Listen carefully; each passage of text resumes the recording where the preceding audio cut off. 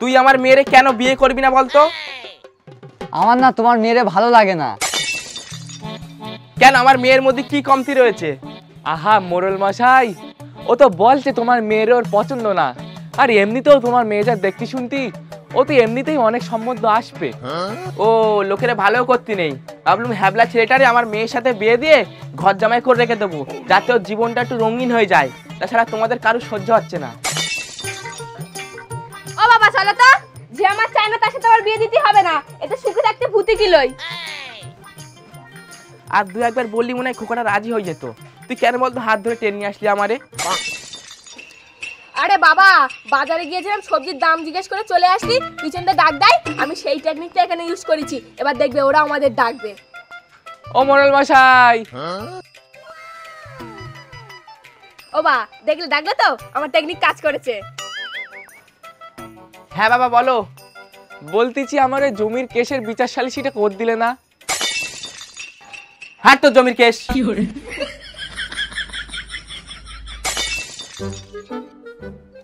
ওই জমিটা না হলে আমি ফ্ল্যাট বাড়ি কোন জায়গাটায় করব? সেটাই তো। সেটাই তো করতেছে একটা মেয়ে হয়ে একটা ছেলের পড়াতে পারে না। আর তার বাবা সারা গ্রামের লোকের ফাঁসি গ্রাম পঞ্চায়েত হয়ে গেছে। একটা হাবলা ছেলে পড়াতে পারিস না তুই কি করতেছিস মেয়ে হয়েছিস? বাবা তাহলে একটা হেভি সুন্দর ক্রিম কিন দাও তারপর দেখবে আমি কি করব। বাবা তুই রাজি হয়ে যা না? মোরেল মশাইয়ের বাড়ি আছে গাড়ি আছে মেয়ে দেখতে শুনতে সুন্দর। তুই অনেক সুখী হবি। তোর বাপ মানেই তোরে দেখি রাখবে। কাকা আমি পুঁটিরেই ভালোবাসি। উড়ি উড়ি উড়ি উড়ি উড়ি উড়ি উড়ি উড়ি। পুটি পুটি সরি গো আমার একটু আসতে লেট হয়ে গেছে হ্যাঁ?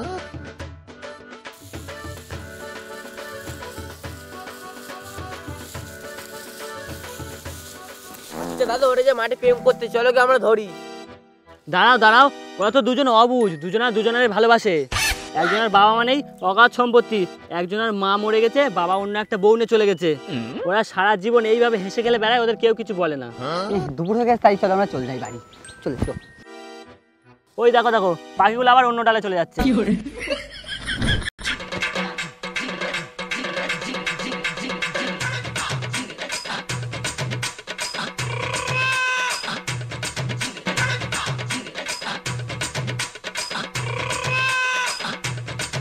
ভূত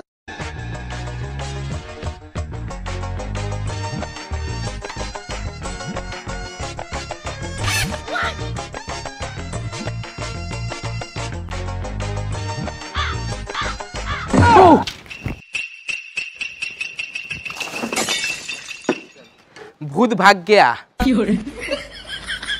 বাবা তুমি এটা করতে পারলে? মা তুই? তাই কেন মাটি মেঘে বসে রয়েছিস কেন? আমি তো ভূত ভেবেছি। আমি তো হওয়ার জন্য মেখেছি। ফর্সা না হলে ওই ছেলেটা ফাঁসাবো কি করে? ও তাহলে ঠিক আস ঠিক আছে তাহলে কি আমি আর একটু মাটি এনে দেবো? আমার ক্ষমা দাও তুমি। ওরে মা তুই কি ভুল করছিস যে তোরে আমি ক্ষমা দেবো?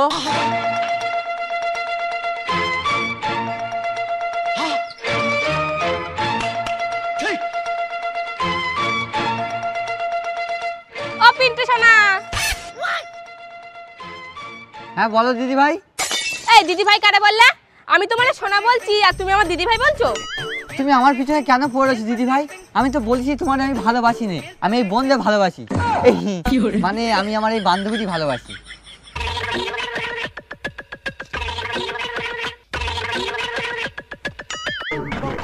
ওর আর আমার মধ্যে পার্থক্য কি আছে? এখন তো ওর মতো আমি ফর্সা হয়ে গেছি আর ও তো কথা বলতে পারে না শুধু হাসে। আর আমি তো কথা বলতে পারি হাসতেও পারি।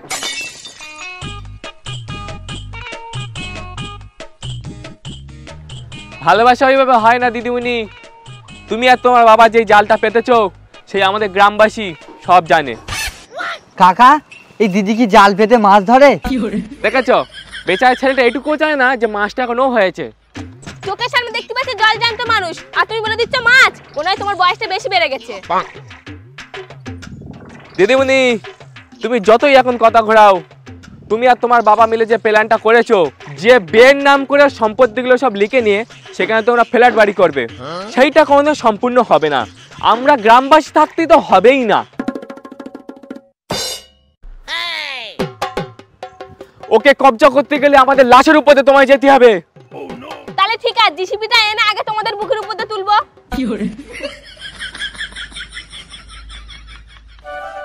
আর তুই বাড়ি চ তো মেরে হাড় করে ভেঙে ফেলব। ও দাদা তোমার ছেলেরাম করে মারতেছো কেন?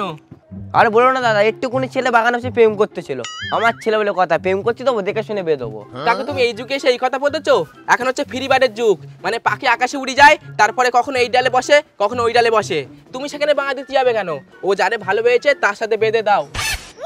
বাহ বাহ বাহ মোরল মশাই। তুমি এখন এই কথা বলতেছো তাহলে আমাদের পিন্টুটা কি দোষ করেছিল? ও তো একজনকে লাভ করেছে। ওই দেখো এর মধ্যে আবার পিন টুটি টানতেছে। এখানে একটা ছেলেটা আমি ভালো করার চেষ্টা করছি তাছাড়া হবে না। সবাই মিলে আমার পিছনে লেগে রয়েছে। কি যে ভালো করবে সেটা আমরা গ্রামবাসী সবাই বুঝতে পারছি মোরল মশাই। ও ঠিক আছে তাহলে আমি কাউরে আর ভালো যুক্তি দেবো না। ও দাদা তোমার ছেলে লাভ ম্যারেজ না অ্যারেঞ্জ ম্যারেজ করে বেঁধে দাও। আর তোরা বেঁধতে যাবি আমার নেমন্তন্ন করতে হবে না।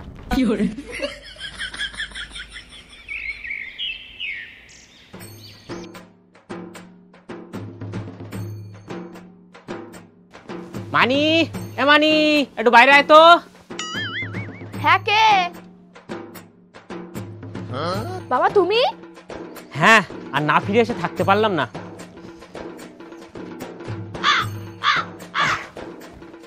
এই গা থেকে খবর পেলুম তুই নাকি একজনের বড্ড বেশি ভালোবেসে ফেলেছিস?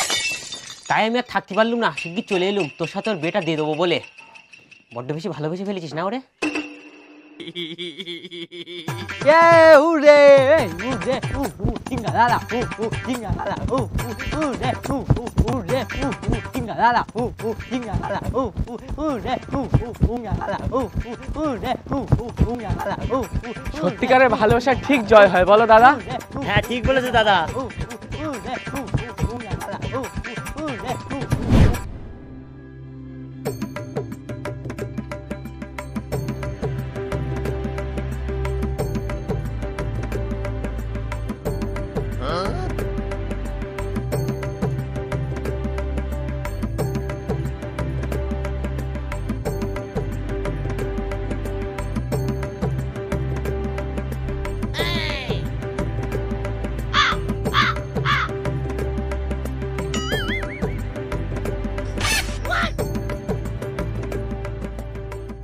পুরুত মশাই একটু তাড়াতাড়ি নাও লগ্ন তো বই যাচ্ছে।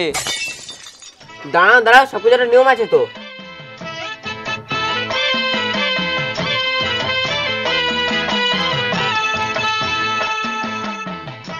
না এবার ছেলেরা দেখো।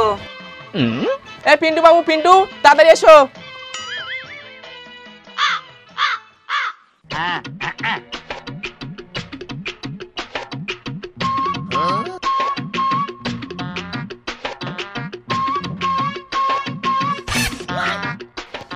সব ঠিক আছে ছেলের মুখ ঢাকা কেন? শুভ দৃষ্টি কি করে হবে?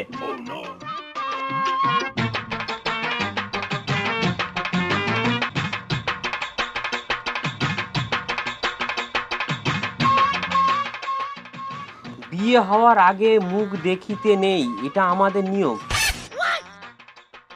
এ কি নিয়ম? ও ঠিক আছে সব হয়ে যাবে খুনি। ও ছেলে মুখ ডাউক আর মেয়ে মুখ ডাউক বেটা হওয়ার কথা। পুরুত মশাই তুমি তাড়াতাড়ি নাও তাড়াতাড়ি নাও। ঠিক আছে তোমার যা ভালো বন্ধু তাই করো। দাদা তোমার মেরে ডাকো। এমানি আয় বিয়েতে বসে যা।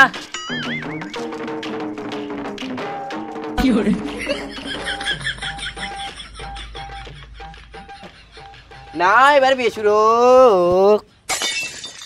বিয়ে সম্পূর্ণ হলো।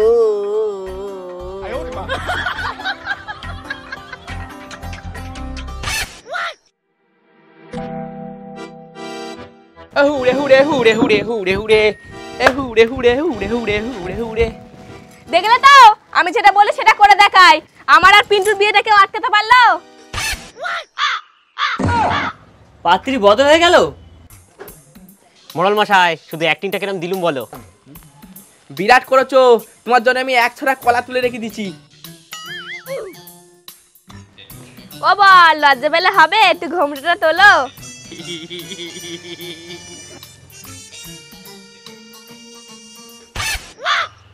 এ কি?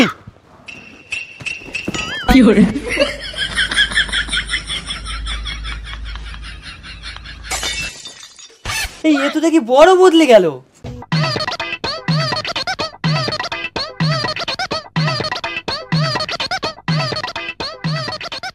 ওই গো কাকা তোমাদের এখন বিয়ে হয়নি? আমাদের বিয়ে তো কমপ্লিট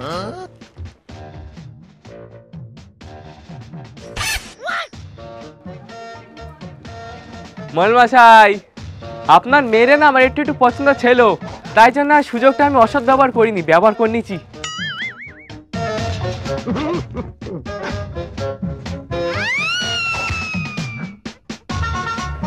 কি হলো? মোড়ল মশাই মেয়ে কই গেল?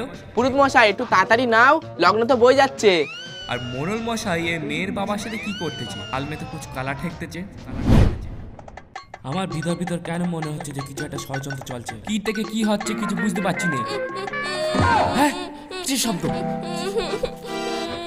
ঠিক আমি যা ভেবেছিলাম ঠিক তাই।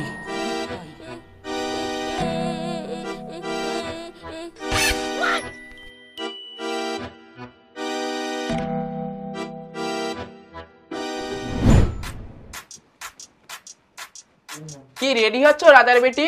মরানি সাজার তো খুব শখ। এইসব পোশাক গরিবদের জন্য না এইসব পোশাক আমাদের জন্য। তোমার যদ্দূর দৌড়ানো তদ্দূর দৌড়াবে। মানা এই শাড়ি কাপড়টা খুলে তুই পড়নে তার মধ্যে এর আমি ঝুমকি তালায় দিয়ে আসতেছি। তারপর আমি মন্ডে বসে অপেক্ষা করব তুই তাদের ডেস্ক চলে আসবি। এখন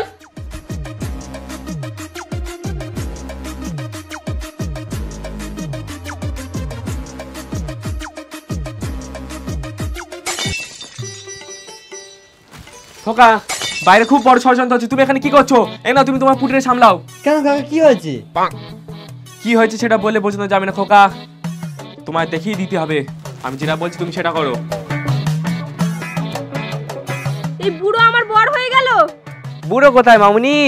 আই এম তো সবে ফর্টি ফাইভ শ্বশুর মশাই চলে এবার বাড়ি। বিকজ আই এম সরকারি কর্মচারী। মোড়ল স্যার অমর সঙ্গী না কেউ কোনোদিন আলাদা করতে পেরেছে আর না কোনোদিন পারবে। Thank you don't mind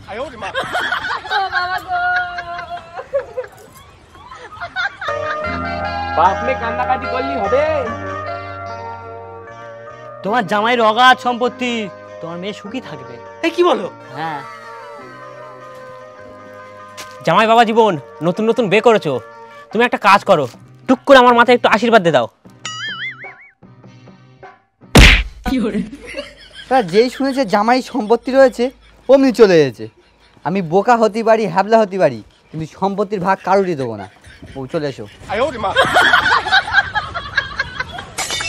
hey guys তো ভিডিওটা ভালো লাগলে অবশ্যই লাইক করবে কমেন্ট করবে আর প্রচুর প্রচুর সাবস্ক্রাইব করবে। সবাই মিলে। আর আমরা একটা নতুন টাইপের গল্প আনার চেষ্টা করলাম একটু প্রেমের কাহিনী টাইপের একটা সুন্দর গল্প বাস্তবে যেটা ঘটে অ্যাকচুয়ালি যেরকম জমিদার ছেলে মানে অনেকজন স- সম্পত্তি থাকলে যা হয় এইসব একটা বিষয় বাপ মা থাকলে যেটা না হয় যেটা হয়। তো একটু কমেডি ছাড়া একটু আনার চেষ্টা করলাম হয়তো কমেডি কম আছে। তবে পরের গল্পটা কিন্তু কমেডি পুরো ভরপুর স্ক্রিপ্ট পুরো কমপ্লিট আছে ভিডিও আসবে। তো এটা কেমন লাগল ভালো ভালো কমেন্ট করো নতুন চেষ্টা আর দেখতে থাকো এইভাবে। আর আমাকে যেন কিডন্যাপ করো না আমার নকল শোনাচ্ছেন। আচ্ছা। আর পেজ থেকে যারা ভিডিওটা দেখছ অবশ্যই পেজটাকে ফলো করে নাও। এই পেজটাকেই ফলো করো।